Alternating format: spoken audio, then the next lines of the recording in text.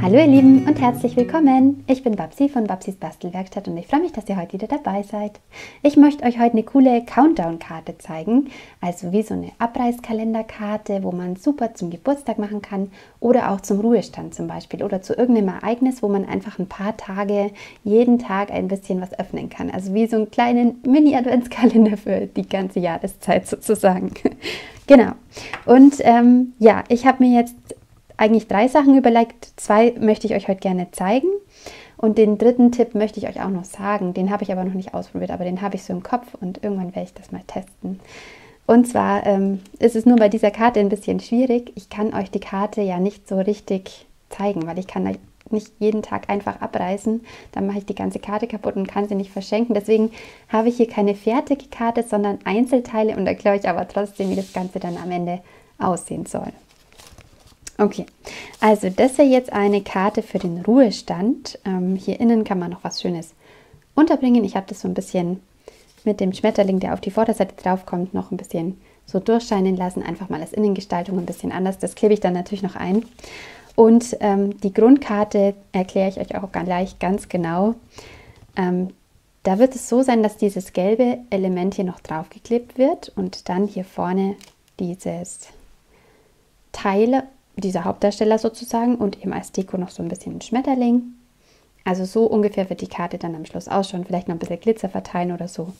Genau, das ist ja jedem selber überlassen. Und der Clou oder der Mechanismus, der dahinter steckt, ist, dass man dann hier, also am dritten Tag, einen, ein Herz abziehen kann. Dann kommt der zweite Tag, also dieses Teil bleibt natürlich da drauf, aber ihr würdet dann nur eben dieses Herz hier vorne abziehen. Am zweiten Tag wird das nächste Herz hier einfach abgezogen, also nur noch zwei Tage. Dann hat man nochmal ein Herz mit dem einen Tag und wenn man den noch abzieht, bleibt der Rahmen von den ganzen Herzen natürlich stehen. Es wird komplett aufgeklebt und es zeigt sich dann ganz unten das letzte Herz. Das muss ich jetzt nach oben klappen, dass ihr das sehen könnt. Und hier steht dann Time for a Happy Dance. Ihr könnt hier hinschreiben endlich Geburtstag, endlich 18, alles Gute zum Geburtstag oder schönen Ruhestand oder was auch immer, für was ihr diese Karte verwendet. Also so kann ich euch zeigen, wie ich meine, dass die Karte dann funktioniert und wie die dann auch aussieht ungefähr, dass man sich das besser vorstellen kann. Weil ich jetzt natürlich nicht die ganze Karte einmal zusammenbaue und dann abziehe, dann ist die ganze Karte verloren sozusagen. Also ich hoffe, ihr wisst, was ich meine. Ich werde es bei dieser Karte so machen, dass ich mit euch das jetzt auch so zusammenbaue wie ich das geplant habe. Und ich glaube, dann kann man sich noch ein bisschen besser vorstellen. Das ist ja jetzt die eine Kartenidee. Und in diesen Stanzformen-Set, die ich jetzt hier benutze, ist auch noch so eine längliche Stanzform. Und ich finde, die passt natürlich für sowas auch ideal. Und da habe ich mir jetzt ein bisschen überlegt, ob ich euch das auch zeigen kann. Und zwar habe ich diese Karte jetzt im Querformat gemacht. Ganz am Ende wird die Karte von der Deko eigentlich so aussehen. Also, dass man hier vorne ein schönes Element hat, da kleine Dekoteilchen und dann hier diesen, diese Schrift, wo man, also wo man schreibt, heute hier öffnen. Dann heißt, man darf bis zu diesem Punkt öffnen, morgen, übermorgen, überübermorgen und dann darf man dieses ganze Band komplett wegnehmen, wenn dann alles steht. Also so wird die Grundkarte aussehen ungefähr. Und damit ich euch das jetzt auch mal zeigen kann, habe ich mir gedacht, ähm, ich mache jetzt mal dieses als Beispielkarte, also da habe ich es genauso gemacht und würde jetzt sagen, der Beschenkte bekommt es und darf heute gleich mal den ersten Teil hier öffnen. Und wenn er das dann hier so aufreißt und so rüberklappt, steht hier eine 4. Und wenn er dann am nächsten Tag sagt, heute ist morgen, noch ein Teil, dann steht da eine 3. Und ich nehme euch noch mal kurz ein bisschen näher hin. Also bis morgen aufklappen. Dann, wenn er übermorgen dahin geht, hat er nur noch zwei. Und übermorgen darf er noch einmal aufmachen und dann steht hier nur noch ein Tag sozusagen. Und dann darf er einmal alles abreißen. Und hier steht dann die Botschaft. Und in meinem Fall ist es jetzt hier, steht hier schöner Ruhestand. Also ich glaube, man erkennt das ganz gut. Also so ist der Gedanke hinter dieser Karte im Querformat, dass man auch 4, 3, 2, 1 und dann kommt die Botschaft Könnt es natürlich, wenn ihr eine größere Botschaft macht, macht er 3, 2, 1 Tage oder so. Also das kann man ja ganz frei gestalten. Und auch hier vorne kann man draufschreiben, was man möchte. Okay, also so ist der Gedanke dahinter. Und ähm, wir werden jetzt diese Karte auch nochmal fertig bauen sozusagen. Und ich, seht, ich habe hier hinten schon ein bisschen was gemacht. Das heißt, meine Karte ist trotzdem nicht verloren. Ich habe euch das nur an diesem Beispiel an der Mattung gezeigt, weil die ja eh unten reingeklebt wird. Und ähm, ich zeige euch aber, wie ihr das zum Beispiel beschriften müsst, dass ihr auch diese Zeile trefft, wo das dann nachher ausgestanzt ist und so weiter. Also diese beiden Kartenideen möchte ich euch heute zeigen. Und ich sage euch jetzt mal kurz, was ihr alles so braucht. Ähm, ihr benutzt farbentechnisch alles, was ihr nehmen wollt. Ich habe jetzt hier auch teilweise mit bisschen älteren Sachen gebastelt. Ähm, ich habe jetzt hier als Hauptweißfarbe nämlich immer Grundweiß extra stark. Das hätte diese Bestellnummer. Und ich habe jetzt hier als Hauptfarbe noch Calypso. Ich wollte, dass es eine schöne bunte Karte wird. Ich habe ähm, das Gelb ist Osterglocke und ich wollte es einfach ein bisschen so gestalten, weil ich hatte noch so Streifen von diesem Designerpapier. Das gab es vor Ewigkeiten mal, da waren so viele schöne Herzen drauf und mir haben diese äh, Zwischenherzen hier so gut gefallen und wollte die als Deko benutzen. Deswegen habe ich mich so in diesem Farbspektrum orientiert. Das macht ihr, wie ihr wollt. Und ich sage euch jetzt die Maß. Okay, ich habe eine Grundkarte, die hat das typische Kartenformat 21 cm in der Breite, 14 cm in der Höhe und ich falte mir das immer bei 10,5. So habe ich eine Klappkarte in Hochkant oder quer, wie ihr es haben wollt. Die Maße sind da völlig gleich. Dann habe ich zwei Aufleger, einmal für vorne und einmal für innen und die haben das Maß 13,5 mal 10 cm. Und ein gelbes Papier mit dem Maß 13 mal 9,5 cm, das kommt dann hier vorne noch drauf. Und mein kleiner Dekostreifen hier, der hat sich jetzt hier um die Herzen ein bisschen aufgebaut. Der hat das Maß 13 mal ungefähr 1 cm. Also wenn ihr auch sowas habt oder wenn ihr euch selber so einen Streifen baut oder wenn ihr irgendein anderes Designerpapier mitnimmt, ungefähr 1 cm, aber das könnt ihr freigestalten. Und dann ganz wichtig ist eben dieser Streifen. Der hat jetzt bei mir das Maß in A4-Länge, also ein ganzes A4-Papier und ist breit 6,5 cm. Und bei mir richtet sich jetzt der Streifen so ein bisschen nach meiner Stanzform. Ich habe hier die Stanzformen Schöne Überraschung. Die haben diese Bestellnummer. Hoffentlich geht es noch drauf, genau. Und da gibt es auch noch eine zweite Stanzform. Die ist jetzt zum Beispiel ein bisschen kleiner. Wenn ihr die lieber benutzen wollen würdet, dann könntet ihr euch den Streifen auch ein bisschen schmaler zuschneiden. Genau. Aber ich nehme jetzt nochmal die Herzen. Das finde ich ganz schön. Und benutze die jetzt. Ich fange auch mit dem Streifen gleich an. Schnapp mir meinen Papierschneider und falze mir diese A4 Seite, also die lange Seite, jetzt bei 6 cm. Dann wieder bei 6 cm weiter, also bei 12 cm. Dann bei 18 cm. Und bei 24 cm. Also immer alle 6 cm. Und das Schlussteil ist jetzt ein kleines bisschen kleiner als der Anfang. Aber das sieht man am Ende nicht mehr. Also das können wir einfach so lassen. Wir müssen jetzt nur darauf achten, dass wir uns merken, Entschuldigung, jetzt bin ich an die Kamera gekommen, dass wir uns merken, wo dieser Schlussteil ist. Das ist so ein bisschen ein kleineres. Denn mit diesem kleineren, das liegt jetzt bei mir auf der rechten Seite, das hat um die 5, was hat es denn? 5,6 cm oder so hat das. Das klappe ich mir jetzt als erstes ein und mache dann hier so eine Ziehharmonika-Faltung. Ihr seht so vor und zurück geklappt. Und jetzt lege ich mir das so hin, das ist aber auch egal, wenn es jetzt andersrum wäre, dass meine erste Klappe nach unten geht und diese etwas kleinere Klappe bleibt einfach hinten liegen. Das ist so ein bisschen den, wo man sich merken kann, eigentlich ist es nur wichtig, dass diese kleine Klappe ganz hinten ist, dass die ein bisschen versteckt ist. Und dann falze ich mir einfach kurz die Linien einmal schön nach dass das schön aufeinander liegt.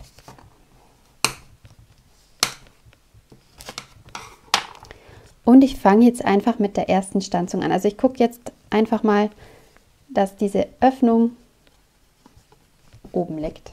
Wenn es andersrum ist, ist wie gesagt eigentlich egal, aber das ist so ein bisschen mein Steckenpferd, dass ich mir das merke und dass ich mir jetzt hier auf jede Seite mein Herz reinstanze.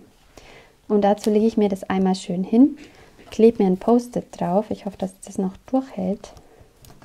Und hole mir mal meine Stanzmaschine ins Bild.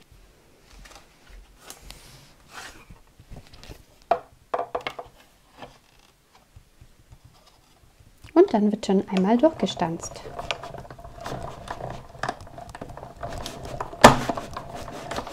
Und ihr habt es gesehen, ich habe mein Blatt komplett aufgemacht, dass ich wirklich nur diese vordere Seite gestanzt habe. Kann das Post-it auf die Seite. Und wir haben jetzt hier diese Umrandung und man sieht, dass das Herz ist schon fast ähm, komplett ausgestanzt, aber es hat so kleine Bereiche, wo es neben noch festhebt und wo man dann super mit diesen kleinen Öhrchen nachher das Herz dann abziehen kann. Und jetzt mache ich so, jetzt lege ich mir mein Herz auf die Rückseite, dass diese scharfe Kante zu mir herschaut, also diese Stanzkante, weil ich möchte das Herz ja möglichst an der gleichen Stelle haben. Und dann klappe ich mir die Karte zu, damit es auch an der gleichen Stelle bleibt. Mache es nochmal auf und klebe mir nochmal ein Post-it hin.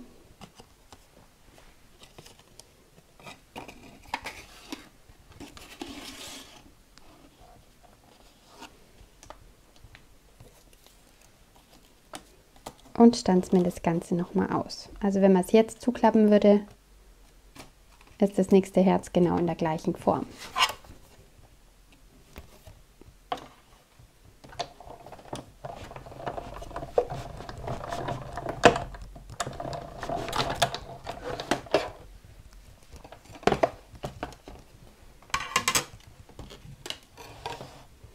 Jetzt nehme ich wieder das Post-it ab und klappe mir diese beiden vorderen nochmal zusammen und lege mir jetzt auf die Rückseite wieder mein Herz in der gleichen Form. Also auch wieder, dass diese Schneidekante in meine Richtung schaut.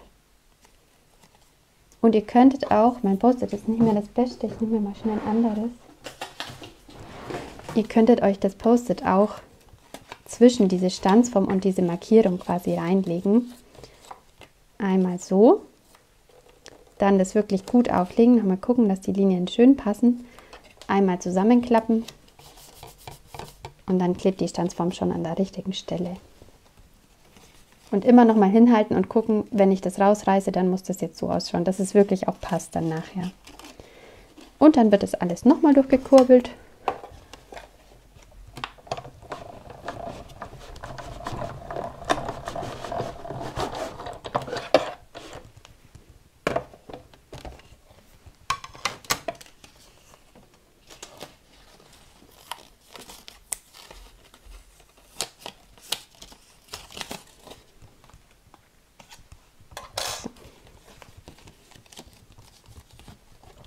wieder einmal vorne zusammengelegt.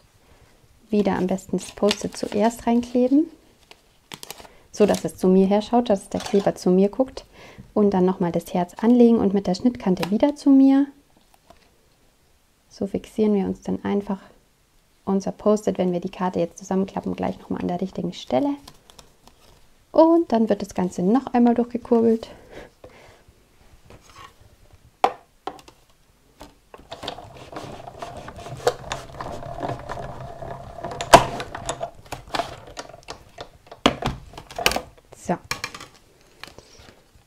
Und jetzt könnten wir eigentlich schon aufhören. Also wenn wir das jetzt lassen würden, könnten wir es schon so belassen. Oder wir machen, weil wir in diesen Stanzformen auch noch ein zweites komplettes Herz haben. Also das ist eine Stanzform, die das ganze Herz ausstanzt. Das ist hier die ganz unten. Da sind keine solche kleinen Nupsis, da könnten wir uns noch mal ein ganzes Herz ausstanzen. Dann haben wir jetzt ein bisschen einfacher mit dem Textstempel, dass wir den an die richtige Stelle bringen. Das zeige ich euch jetzt mal in dieser Art und nachher zeige ich euch auch mal, wie ihr das machen könnt, wenn ihr das jetzt nicht habt, so wie bei der anderen Stanzform. Okay, das heißt, das ist immer noch meine Vorderseite. Dann wird es abgeklebt, dann kommt die nächste Seite, dann kommt das und das ist jetzt die letzte Seite und das ist dieser ein bisschen kleinere, also ich zeige euch mal den Rand, der ist minimal, aber das ist die bisschen kleinere Form.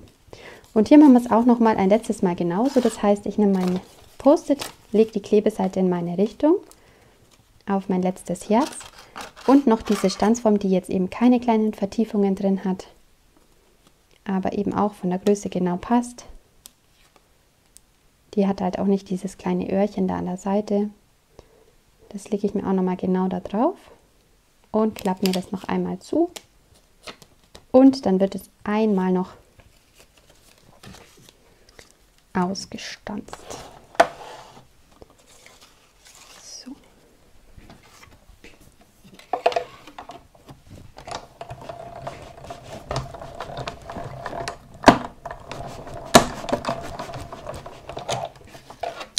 Kann die Stanzmaschine nochmal weg.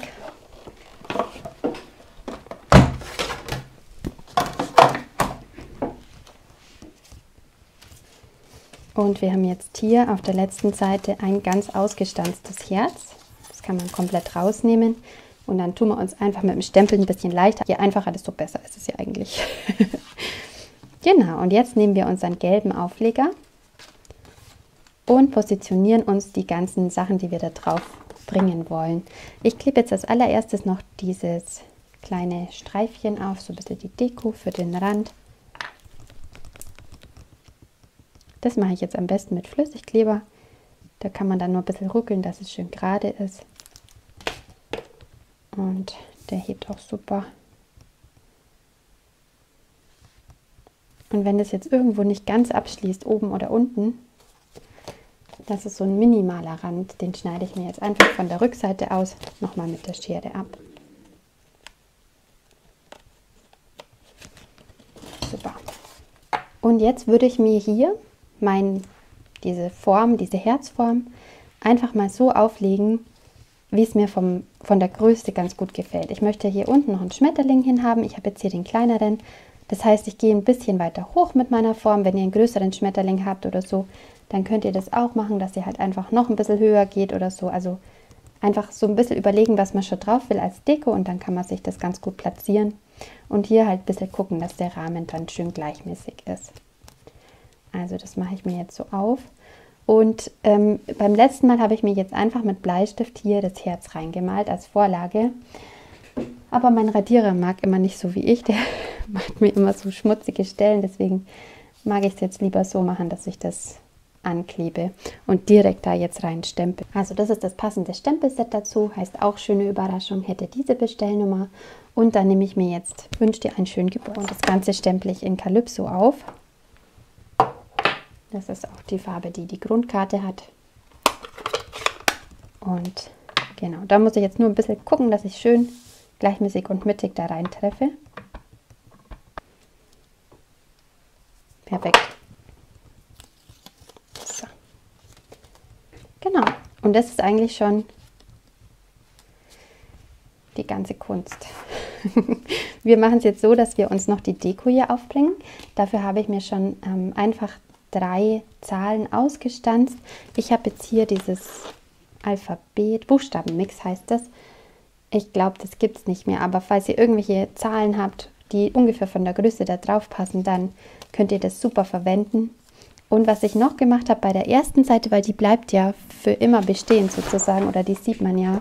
Ich nehme jetzt noch so ein bisschen Calypso als Farbe und so einen Blending-Pinsel und gehe mir da noch ein bisschen drüber. Das gleiche möchte ich auch auf dem Schmetterling machen. Und da habe ich mir gedacht, den können wir auch auf die Innenseite noch ein bisschen so projizieren, sagt man da, glaube ich. Das heißt, wenn ich mir den jetzt hier auflege, mache ich gleich zwei Fliegen mit einer Klappe. Ich koloriere den Schmetterling und auch die Innenseite einfach noch ein bisschen schön.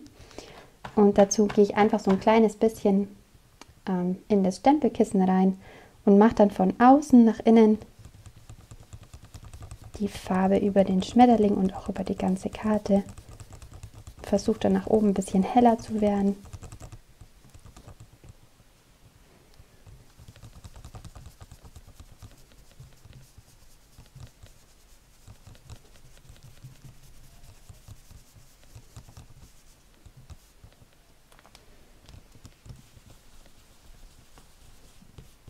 Weil ich finde, es sieht ganz schön aus, wenn man den dann abnimmt, hat man innen schon so eine schöne Seite. Man kann auch noch ein bisschen an den Ecken machen und hat dann eben wirklich eine coole Innengestaltung. Ganz einfach und schnell gemacht und man möchte den Schmetterling eh ein bisschen Farbe geben. Das heißt, da gehe ich jetzt noch ein bisschen außen rum. Muss ein bisschen aufpassen. Ich glaube, mein Mikrofon ist genau neben meiner Jacke. Habe dann hier so ein bisschen die äußeren Seiten ein bisschen angefärbt. Und so meist bei dem Herz auch. Da gehe ich auch einfach ein bisschen so von außen rein. Und koloriere das einfach noch so ein kleines bisschen.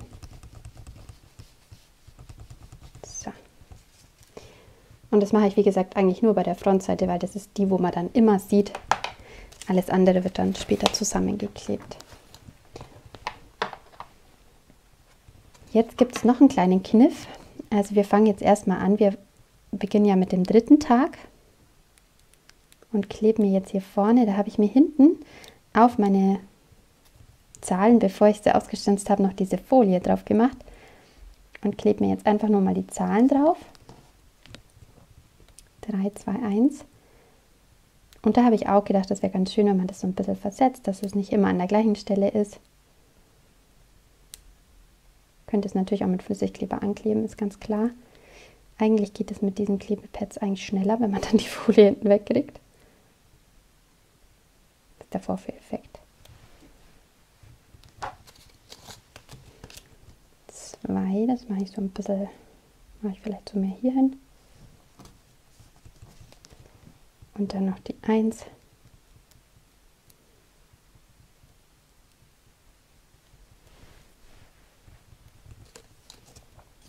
Die kommt so schön in die Mitte.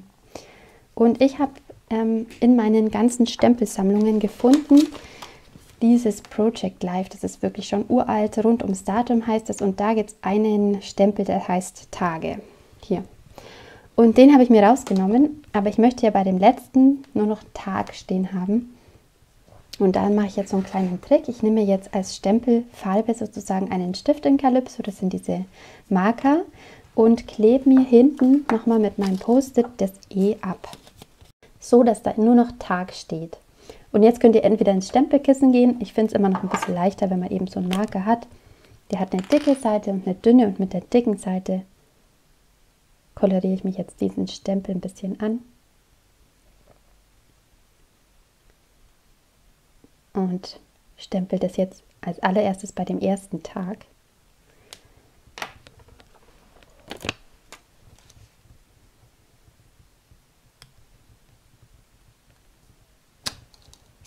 Genau, dass ich nur noch einen Tag habe. Und bei den anderen können wir jetzt ganz normal stempeln, so wie man es gewohnt ist. Ich mache jetzt mal drei Tage hier vorne gleich und zwei Tage hier unten. Dann sieht es echt ganz cool aus, finde ich. Und ist grammatikalisch auch richtig. Das lasse ich jetzt noch kleine ein paar Sekunden trocknen und baue mir einfach schon mal meine Grundkarte zusammen.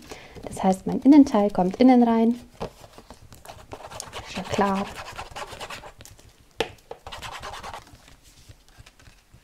An dieser Stelle, also diese Mattung hier in weiß, da braucht man ja eigentlich nur den Rahmen. Und eigentlich ist es Papierverschwendung, wenn man die komplett so aufklebt. Also stanzt euch da gerne irgendwas in der Mitte raus, was man später noch brauchen kann. Und dann ist es nicht immer so viel Papierverschwendung. Weil man das ja nicht sieht, man sieht ja nur den Rand. Das denke ich mir immer, wenn ich das mache. Aber gerade im Video, da muss es ein bisschen schneller gehen. Da oder früher habe ich mir immer den Rahmen einfach innen nochmal ausgeschnitten, dass man eben nur den Rahmen sieht und das Papier ein bisschen schont oder ein bisschen spart. Jetzt ist mir was aufgefallen. Theorie und Praxis, das ist nämlich unterschiedlich. Man denkt immer, es wäre so und so, aber man merkt dann doch, dass es anders ist. Nämlich, wenn ich das alles zusammenklebe, habe ich ein Herz zu viel. Ich hätte nämlich hier die 1 draufkleben müssen und nicht hier. Deswegen würde ich euch empfehlen, ich kann es jetzt im Nachhinein nicht mehr ändern, weil ich ähm, sonst die ganzen Zahlen runterreißen müsste und ich glaube, dann wird es ein bisschen nicht so schön. Ich lasse es bei drei Tagen, aber ihr könnt gerne vier, drei, zwei Tage und dann einen Tag machen. Also ich habe jetzt ein Herz zu viel.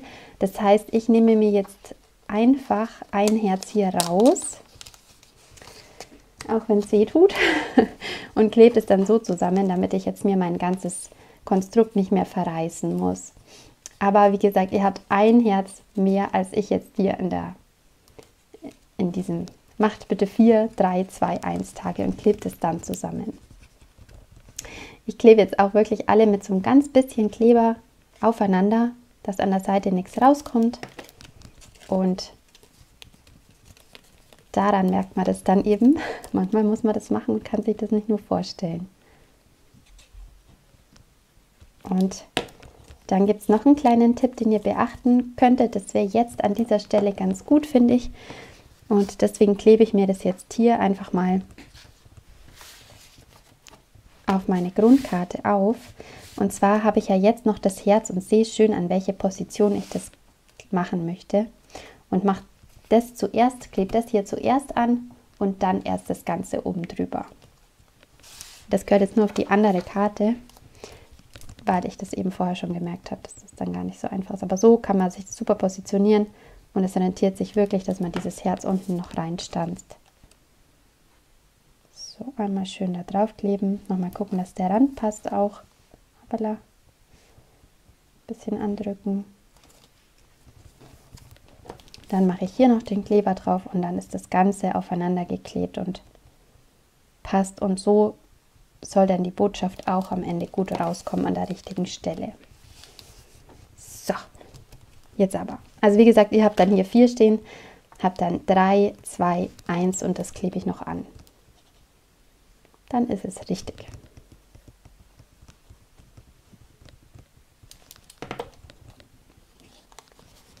So, und jetzt wird das Ganze eigentlich nur noch ein bisschen dekoriert. Dazu schnappe ich mir nochmal diese wunderschönen Schmetterlinge und klebe mir die hier noch auf die Karten auf. Ich habe mir jetzt gedacht, an diese Karte könnte man zwei machen. Eins hier unten und eins so ein bisschen hier oben. Und ihr könnt euch die auch vorher noch ein bisschen in Form biegen. Und ich mache das mit so Klebepunkten, die kann man ganz gut ziehen und auch eben gut in Form biegen, dass man die dann nachher nicht sieht. Und die Schmetterlinge, die gehe ich einfach mal kurz übers Falzbein noch ganz vorsichtig, da nichts abreißt und dann sieht das immer ganz schick aus. So. Und dann finde ich, ist die Karte schon ziemlich cool, vor allem weil die einfach so einen tollen Mechanismus hat. Und ein bisschen Glitzer darf da aber bestimmt nicht fehlen. Deswegen kommen hier auch noch ein paar Glitzersteinchen drauf. Und wir haben eine richtig coole, coole Kartenform, die ihr beliebig vergrößern oder verkleinern könnt. Ihr habt es jetzt gesehen, wie man das Ganze dann macht oder nicht. oder auch noch so drei Steinchen hin. Und ich finde, hier kann auch noch ein bisschen Glitzer mit Wink of Stella drauf. Wer das möchte, kann auch noch die Schmetterlinge ein bisschen einglitzern, ein bisschen einschimmern. Das finde ich immer noch ganz schön. Vor allem, wenn man weiß, wer die Karte kriegt. Also so ist es eine richtig coole Karte geworden. Und wie gesagt, vielleicht steht dann jetzt vorne bei euch 4. okay, das wäre jetzt die eine Variante. Die andere Variante, die habe ich noch nicht festgeklebt, aber die wird dann ungefähr so aussehen mit einem größeren Schmetterling und dann kommt auch noch ein bisschen Glitzer drauf. Kleinerer innen drinnen, das mache ich dann am Schluss fertig. Und jetzt möchte ich euch noch kurz zeigen, wie ihr das Ganze positioniert, wenn ihr diese Stanzform benutzt. Also als allererstes lege ich mir meine drei Kartenauflieger so übereinander, dass ich hier einen richtig schönen Rahmen habe. Also dieser Rahmen soll richtig schön sein und der ganze Aufbau der Karte soll dann schon so liegen, wie ich es mir dann haben will. Dann nehme ich mir meine Stanzform und lege mir die einfach mal dahin. Also ihr stellt euch jetzt vor, dass da noch nichts beschrieben ist. Klebe mir das Ganze mit einem Post-it auf und stanze mir dann das Ganze einmal durch die Stanzmaschine. Dann habe ich dieses Element mit so einer gelben, Umst also mit dieser Ausstanzung und kann mir hier auf die ganzen einzelnen Bereiche was draufschreiben. Ihr könnt auch hier 4, 3, 2, 1 oder sowas draufschreiben und dann unten eine andere Botschaft oder so. Das ist euch komplett frei überlassen. Und jetzt möchte ich aber an die gleiche Stelle auf mein weißes auch noch diesen Abdruck haben, dass das dann passt. Und da mache ich es dann auch so, ich drehe es mir einmal um, nehme mir wieder mein Post-it und den Kleber in meine Richtung und nehme dann meine Stanzform nochmal mit der Schneidekante zu mir gelegt und positioniere mir die hier wieder richtig schön auf meinen Umrandungen. Und dann klebe ich mir das Ganze, das ist so ein bisschen eine äh, Geduldsarbeit, aber das funktioniert dann so auch ganz gut. Dann klebe ich mir das Ganze hier auf mein weißes Papier. Und zwar auch so, dass wieder ein schöner Rand entsteht. Ich finde, so ist es am einfachsten, dass man das einigermaßen gut trifft.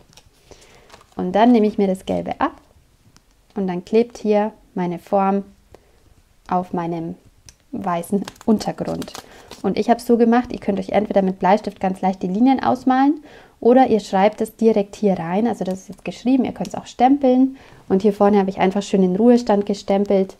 Ich habe da die Standsform auch einfach mit Post-it dahin geklebt an der Seite und dann direkt da reingestempelt. Oder ihr malt euch die Linien an. Aber so habt ihr eben diese Besonderheit, dass es ja ganz gut getroffen wird und dass es dann auch passt, wenn man das abzieht, dass das dann noch schön ausschaut. Genau. Und so habe ich es jetzt eben hier im Beispiel. Das wird jetzt natürlich alles überklebt. Aber so ist dann nachher der richtige Auflieger. Und wenn ich das dann abziehe, dann habe ich hier eine schöne Ruhestandkarte mit 4, 3, 2, 1 Tagen noch. Und das klebe ich mir nachher einfach noch aufeinander und habe dann die Karte fertig. Und hier kommt auch so ein schöner Schmetterling hin. Und dann ist die Karte fertig. Und dann noch ein letzter Tipp am Rande, weil wir ja jetzt gar nicht mehr wissen, was wir hier für eine Karte gebastelt haben. Wenn ihr nicht sofort die Karte verschenkt, dann schreibt euch bitte rein. Das ist eine Ruhestandkarte. 4, 3, 2, 1. Also vier Tage vor Ruhestand öffnen.